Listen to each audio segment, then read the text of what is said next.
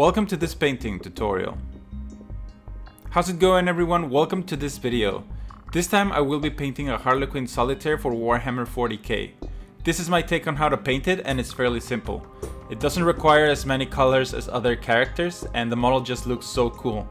If you like this video and you would like to see others like it, please leave suggestions in the comment section below. Comments, likes and subscriptions really help my channel and they are all greatly appreciated.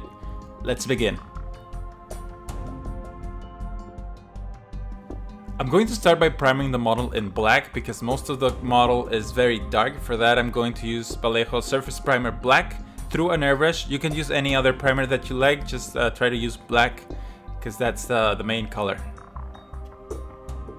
I'm going to start by painting the purple and for that I'm going to use Naggaroth Night. This is going to be a base coat in both the light purple and dark purple.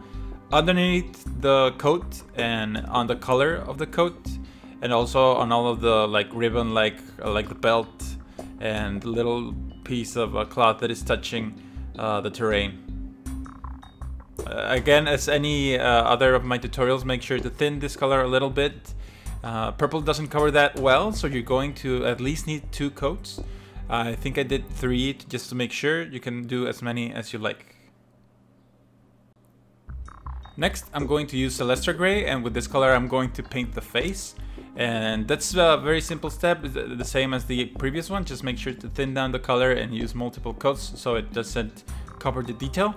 And uh, I'm trying to paint the places that are uh, more underneath the, details of the model. You can you have to start from the inside out. So you paint the most difficult parts to paint first, and then you go uh, outwards and paint the things that are outside the model. Once that's done, I'm going to move on to paint the yellow. For that, I'm going to use Averland Sunset. This is a base color, so it's going to cover very well. Just make sure to thin it down a little bit. And then uh, paint, uh, I'm going to paint the shoulder pads, the weapon, and I think that's pretty much it. Uh, if you want any other places on your Harlequins to be yellow, you can use this color as well. And if you paint on places that where you didn't want to, you can just clean up uh, easily with the other colors. Next, I'm going to use Xereus Purple, and with this color I'm going to paint the purple where I want it to be brighter. It's going to be the belt and places like that, like ribbons and things like that. You can paint it with this color completely, just to make a different shade of uh, purple, uh, just to make it different uh, throughout the model. And this is just going to be for me on the belt and on the little piece of cloth that is touching the terrain.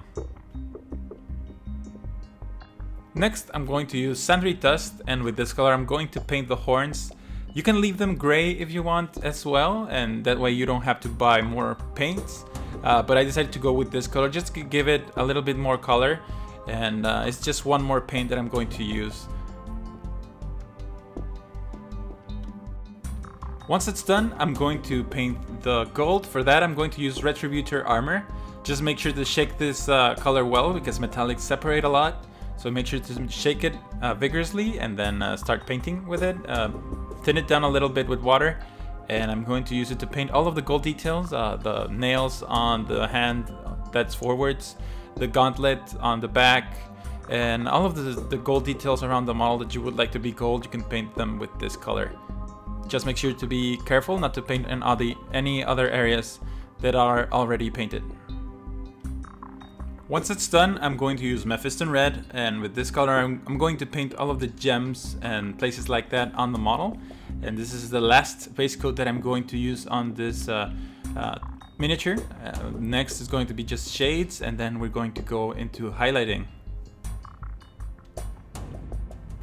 Once it's done, we've finished with all of the base coats of this model, and then I'm going to move into shading uh, all of the areas. I'm going to start with Druchii Violet, and with this color, I'm going to shade the face and all of the purple areas around the model. You can thin it down a little bit with water on the face so it's not as harsh, or you can use it straight out of the pot. Uh, for me, it's no, it's not big difference. It's going to look a little bit more strong if you use it straight from the pot. Just make sure to shade, uh, to shake well your shade before you apply it. And on the big purple areas, try to paint it on the recesses so that you don't have to come back and clean it up. just uh, apply it on those areas on where you see any crevices and th that way you'll save yourself a lot of time. Next, I'm going to shade the rest of the areas with Seraphim Sepia. That's really all that it's needed. We only need two shades and this is going to go over the yellow, over the gold, over the bone and the red. And that's really it. Uh, try to use it on the recesses of the yellow. Don't shade the whole thing because you, then you'll need to clean it up. Uh, you can do it and then clean it up if you like, but it's going to take a little bit more time and that's fine, but you don't really need to do that. And uh, that's it. Once that's done, you don't need to do anything else. This is a very good tabletop standard. I'm going to continue highlighting with Celestra Gray. And with this color, I'm just going to bring back the gray of the face.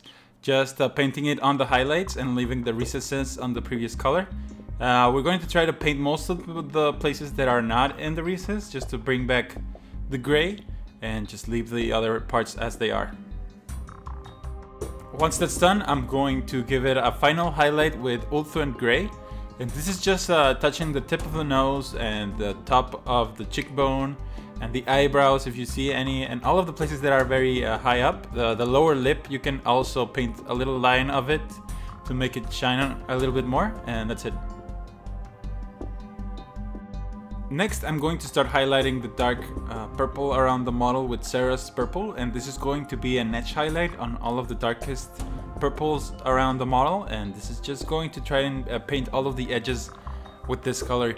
Uh, just try to do as thin as a line as you like. I don't I don't do very thin edges. I try to do it, them a little bit thicker just for them to show from a distance.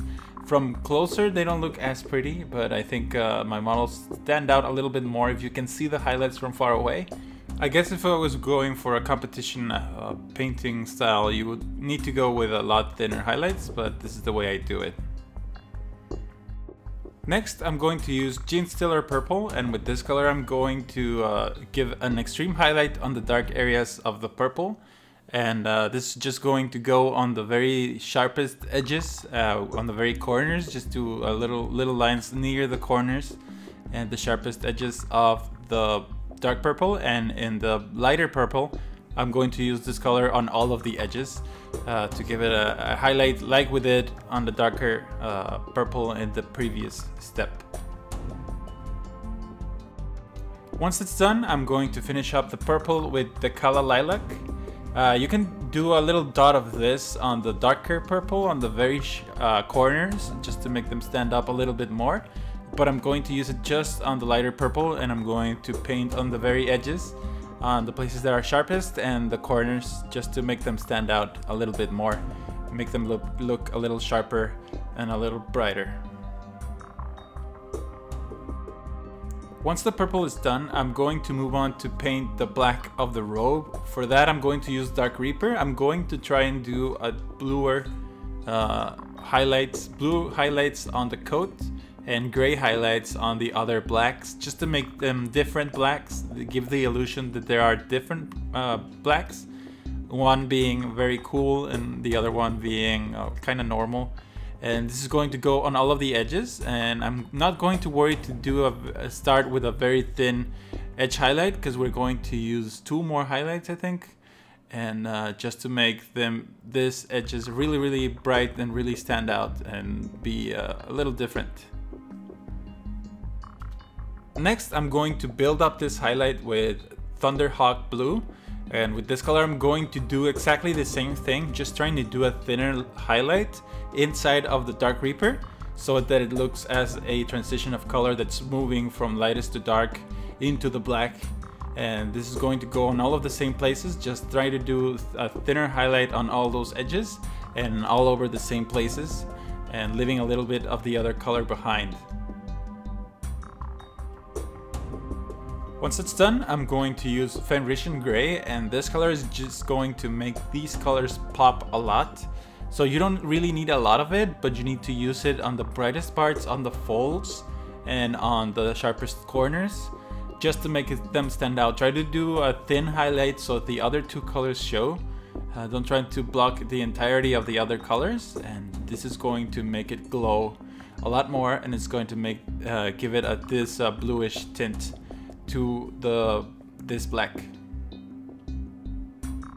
For the rest of the blacks, which is on the the feet and on the gloves, I'm going to use Eshin Gray and also on the weapon.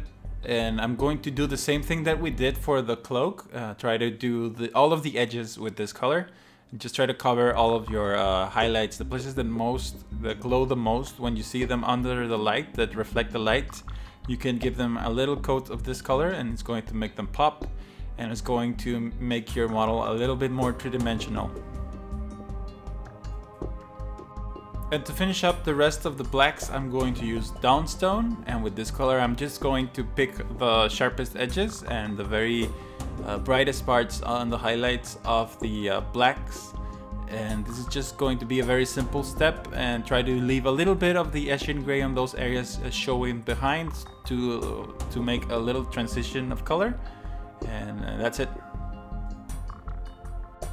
Once that's done, I'm going to use Ushabti Bone, and with this color, I'm going to paint uh, a highlight on the bone, and also I'm going to highlight all of the yellow parts on this model. This is just a thin edge highlight on these areas and all of the uh, most prominent edges of the bone and yellow. Next, I'm going to highlight the gold, and for that, I'm going to use polished gold from Vallejo Game Color. You can use Liberator Gold from Citadel if you like, but it's not the same. This color, it's a lot more yellow and in between the yellow, gold, and silver. And it's, uh, I think it's a very good balance where it's uh, the perfect color for me. Uh, the Liberator Gold looks a little bit more brownish silver and uh, I don't I don't like it that much or maybe that's the colors that I bought initially maybe they changed the formula I don't know I haven't used it in a while uh, but this color I like a lot because it shines very nicely and it looks uh, in between in the perfect spot from silver and gold and it still looks yellow so I like it a lot. Next I'm going to highlight the gems and for that I'm going to use Wild Rider Red and I'm going to paint as an example I'm going to paint the, the big gem on the, on the belt. Uh, try to you do like a U shape like a like a moon shape on the bottom part of the gem that's going to make a, a start a transition of color that's going to give the illusion that is uh, being shined from above. Because if it's translucent the light is going to reflect it's going to reflect from the bottom. If it goes through the, the gem and it's going to reflect from the bottom and it's a different way to highlight. Next, I'm going to uh, reuse the Averland Sunset, and with this color, I'm going to give an extreme highlight on the gem at the very bottom part of where we uh, painted the half U shape or moon shape on the bottom of the gem. This is going to give it a very fiery glow, fiery glow, and it's uh, also you can paint it on the very top of the square gem on the color, and that's it. Next, to make the gem appear shiny, you can either use a coat of gloss varnish or you can just uh, uh, paint a little dot of white like I do and just uh, use the fine detail brush and uh, paint uh, the top left part of the gem and that's going to make it look like it's uh, shining. Next I'm going to paint the effect that this model has on the back of the cloak. It looks like a Harlequin pattern that makes it look like it's coming through the webway to the real space. For that, I'm going to start with Stegadon Scale Green, and I'm going to stipple this color and do like dots in all of this area just to make it look like it's a, magical kind of weird uh, effect. It's just literally just painting dots in this area and uh, all over the the Harlequins. And also, if you don't want to do this, you don't have to attach this part if you don't like it. And you can just be done with this. Next, I'm going to use Sotek Green. And with this color, I'm going to highlight the, the effect. This one, I'm going to use it, uh, I'm going to stipple dots inside the bigger dots of Stegadon Scale Green just to make them look like they're glowing, like they're magical uh, kind of uh, uh lights. And then on all of the edges of the Harlequins, I'm going to try to do, to do an edge highlight with this color. Next, I'm going to use the Temple Guard Blue, and this is going to finish up the effect. I'm going to use this at the very corners of the Harlequins just to make them pop a lot, make them uh, look like very sharp on the edges. And I'm going to just do like V shapes on the sharpest edges of the Harlequins and uh, do as thin as a line as you can, leaving both of the other colors showing behind. And this is going to bring uh, these colors a lot, make them a lot brighter and make them pop. And this is the finished model.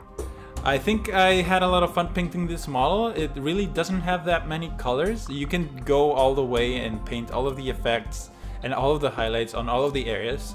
And you're gonna need uh, some colors, but uh, I think you can get away with just doing the base coats and washes and just a couple highlights to make it stand out.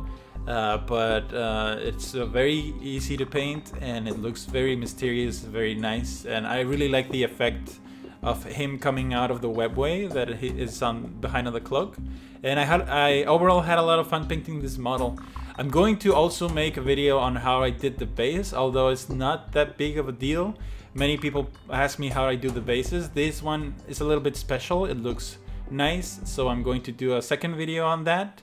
And with that, this is the end of the video. Thank you very much for watching. I hope you found it entertaining and helpful.